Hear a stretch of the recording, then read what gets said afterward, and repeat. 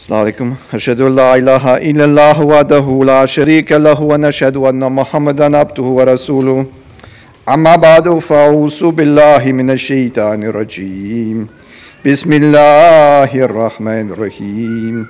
الحمد لله رب العالمين. الرحمن الرحيم مالك يوم الدين.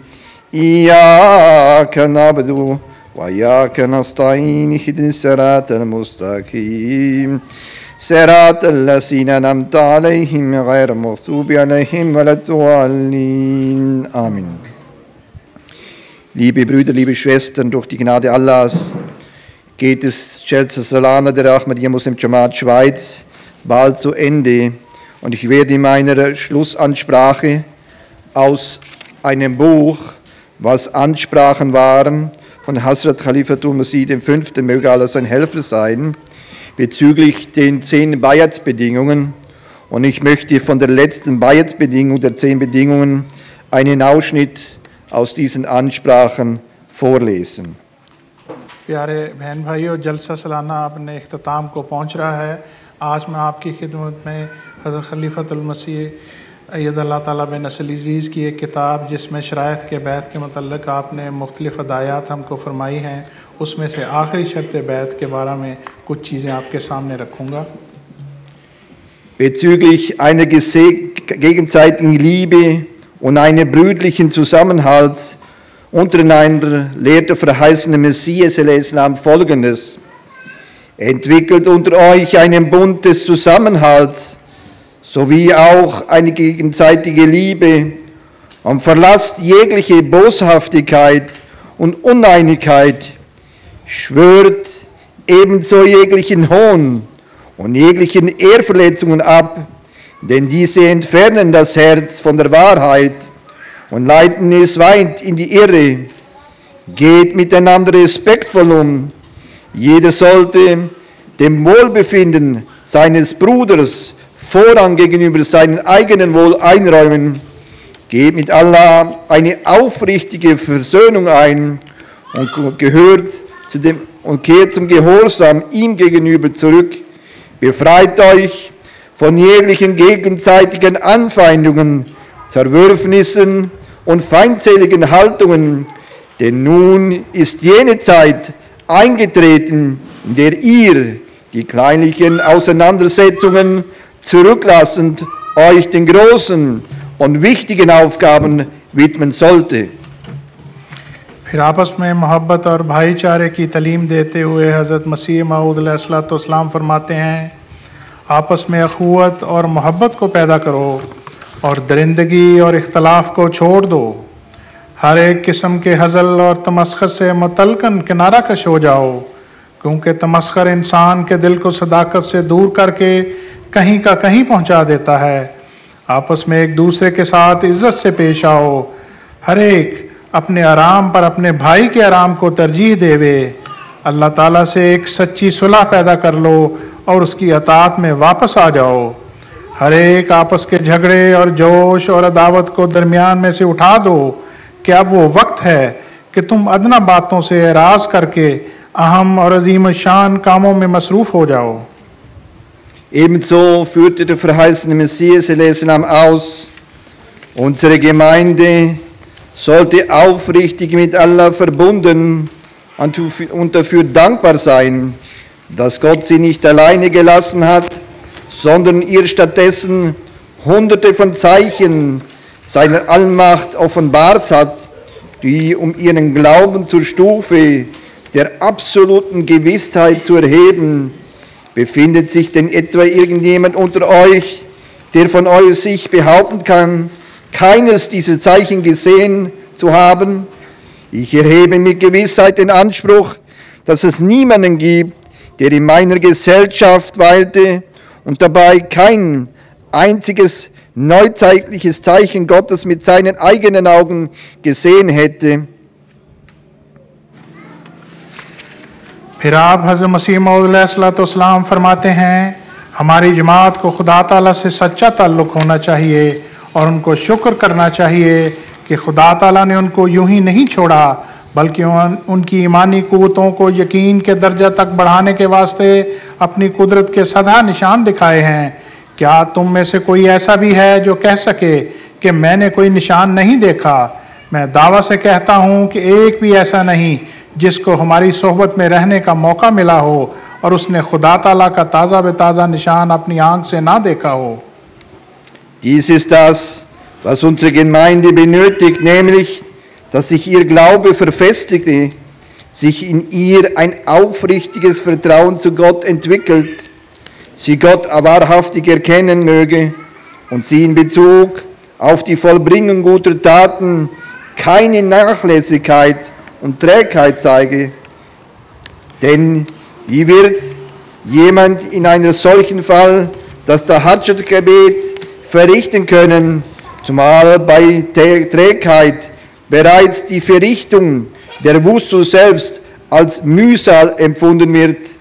Eine Verbindung mit mir ist unsinnig und gehaltlos, wenn sich keine Anlagen zur Verbringung guter Taten, keine Passion hinsichtlich des Wetteifers ان گوت میرکن انتوکن ہماری جماعت کے لیے اس بات کی ضرورت ہے کہ ان کا ایمان بڑھے خدا تعالیٰ پر سچا یقین اور معرفت پیدا ہو نیک کمال میں سستی اور کسل نہ ہو کیونکہ اگر سستی ہو تو پھر وضو کرنا بھی ایک مصیبت معلوم ہوتا ہے۔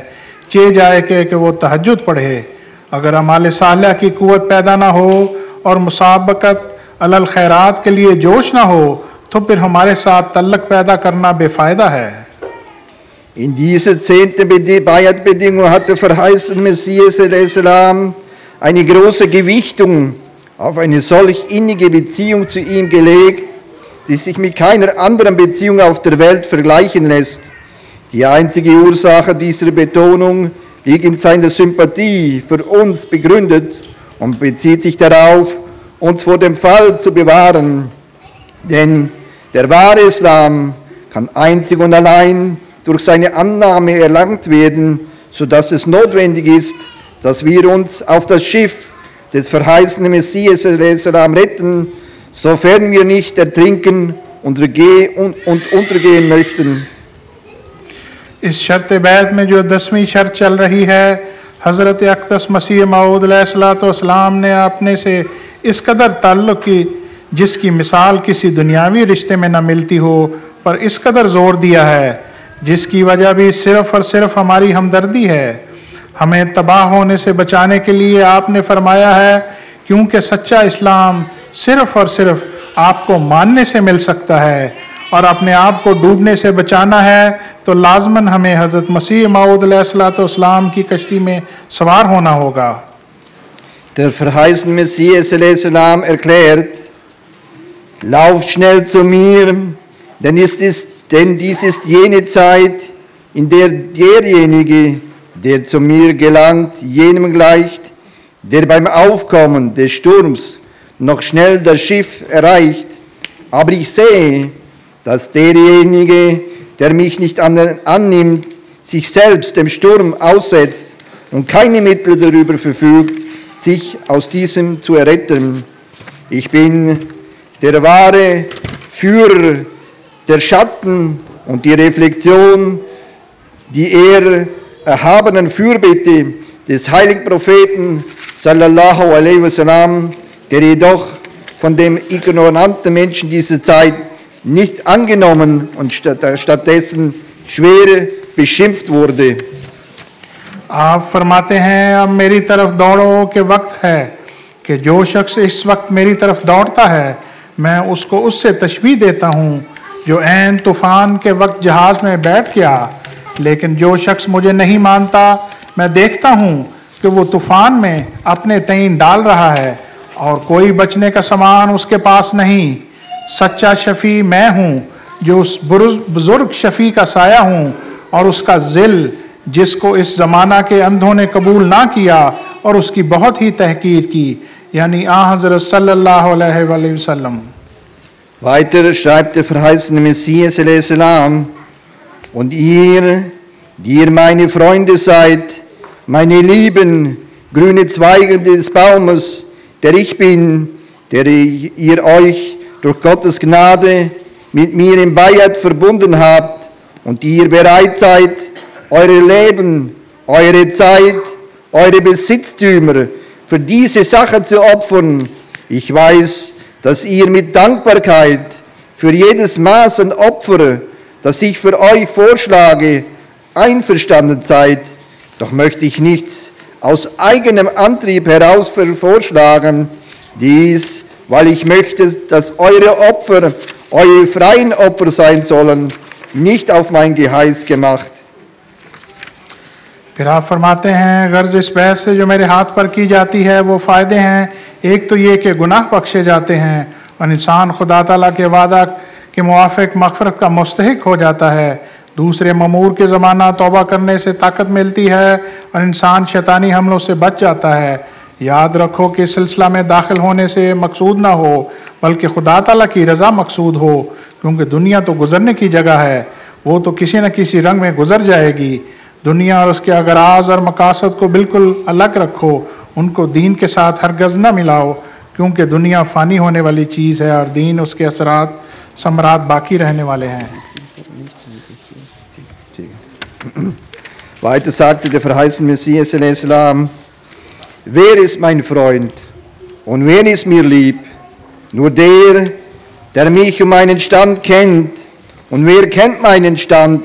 Nur der, der mit Sicherheit glaubt, dass ich von Gott gesandt worden bin und dies in derselben Weise glaubt, wie geglaubt wird an jene, die von Gott gesandt werden. Diese Welt wird mich nicht akzeptieren, denn ich bin nicht von dieser Welt, aber jene, deren Seele mit der anderen Welt verwandt sind, werden mich akzeptieren. Der, der sich von mir zurückzieht, der sich, zieht sich von ihm zurück. Der, der mich geschickt hat, der, der sich mit mir verbündet, verbündet sich mit dem, von dem ich komme. Ich halte ein Licht in meiner Hand. Jene, die zu mir kommen, werden ganz sicher ihren Anteil an diesem Lichte bekommen, aber jene, die in Irrleitung oder Misstrauen verfallen und von mir weglaufen, werden in die Dunkelheit einkehren. Ich bin die unüberwindbare Festung, die für euch heute errichtet worden ist. Derjenige, der in mich einkehrt, rettet sich vor Dieben und Räuber und wilden Getier. Aber der, der es vorzieht, entfernt von meinen Wänden zu leben, riskiert sein Leben überall, auf allen Seiten.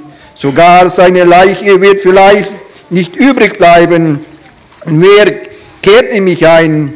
Nur der, der, der schlechte Sitten aufgibt und Sitten der Reinheit annimmt, der die krummen Pfade ablehnt und die geraden Pfade annimmt, der sich von Satan losschneidet und sich mit dem allmächtigen Gott verbündet als einer seiner gehorsamen Diener.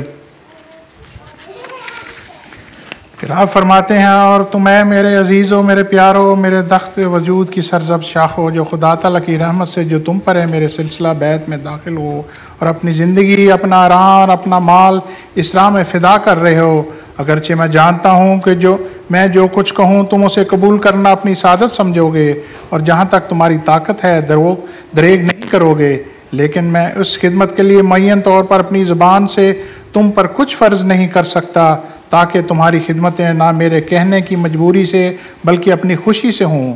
میرا دوست کون ہے اور میرا عزیز کون ہے وہی جو مجھے پہچانتا ہے، مجھے کون پہچانتا ہے؟ صرف وہی جو مجھ پر یقین رکھتا ہے۔ میں بھیجا گیا ہوں اور مجھے اسی طرح قبول کرتا ہے جس طرح وہ لوگ قبول کیا جائیں گے جو بھیجے گئے ہوں۔ دنیا مجھے قبول نہیں کر سکتی کیونکہ میں نے میں دنیا سے نہیں ہوں، مگر جن کی فطرت کو اس عالم کا حصہ دیا گیا ہے، وہ مجھے قبول کرتے ہیں اور کریں گے۔ جو مجھے چھوڑتا ہے، وہ اس کو چھوڑتا ہے۔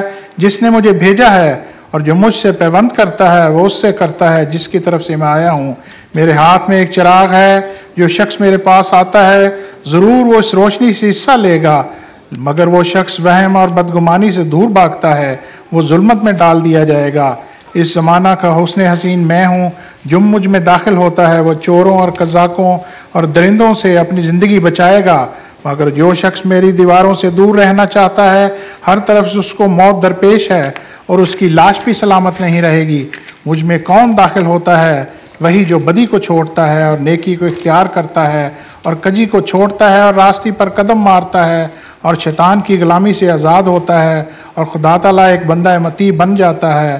ہر ایک جو ایسا کرتا ہے وہ مجھ سے ہے اور میں اس سے ہوں مگر ایسا کرنے پر فقط وہی قادر ہوتا ہے جس کو خدا تعالیٰ نفس مذکی کے سایہ میں ڈال دیتا ہے Dann sagte Husur, Hasrat Khalifa Tumusi V.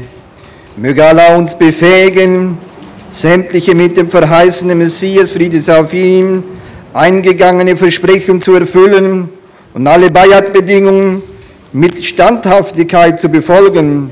Mögen wir durch die Folgen der Lehren des verheißenen Messias Friedens auf ihm unser Leben zum Paradies werden lassen und auch die Gärten der nächsten Welt erlangen.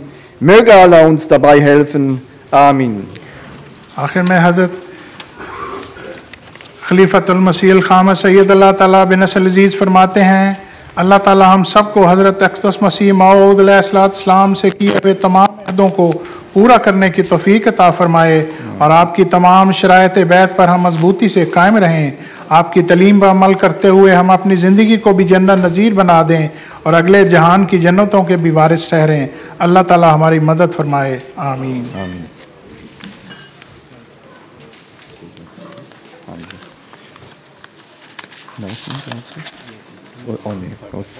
ٹھیک ہے ٹھیک۔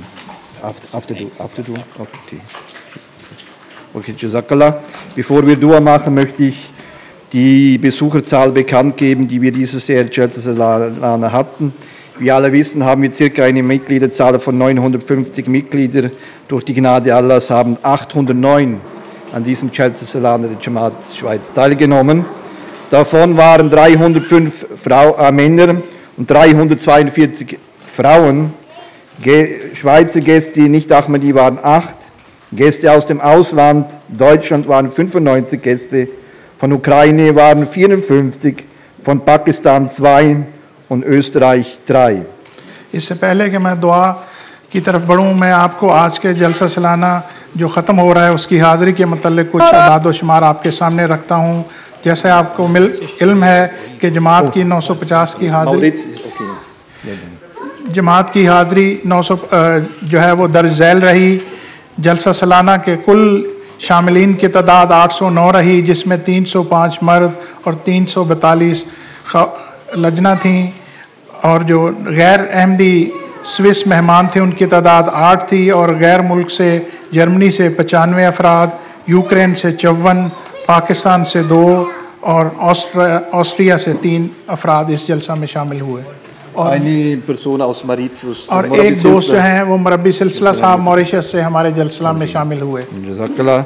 Dann eine weitere Annonce von unserem Audio-Video-MTR-Team. Durch die Gnade Allahs wurden dieses Jahr das Chelsea Salana Radio zum ersten Mal gestartet. Dieses Jahr haben 124, Le- 124 Leute über Radio das Chelsea Salana verfolgt.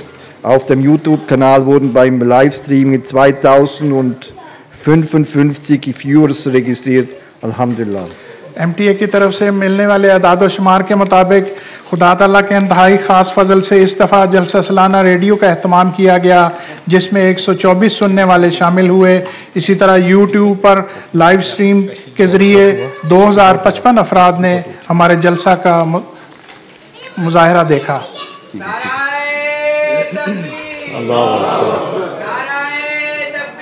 اللہ صلی اللہ علیہ وسلم. احمد کی. جی. جلسہ سلانہ زندہ باد جلسہ سلانہ زندہ باد نعرہ تکبیر. اللہ اکبر. Before we, um,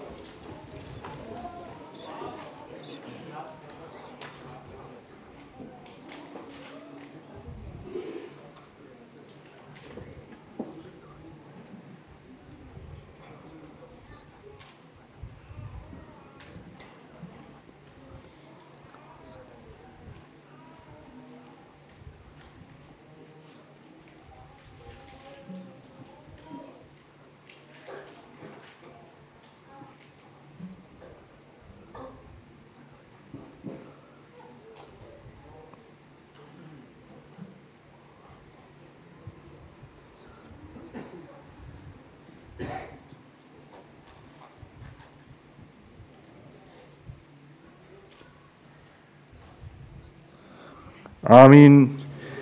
Jalsa Mubarak.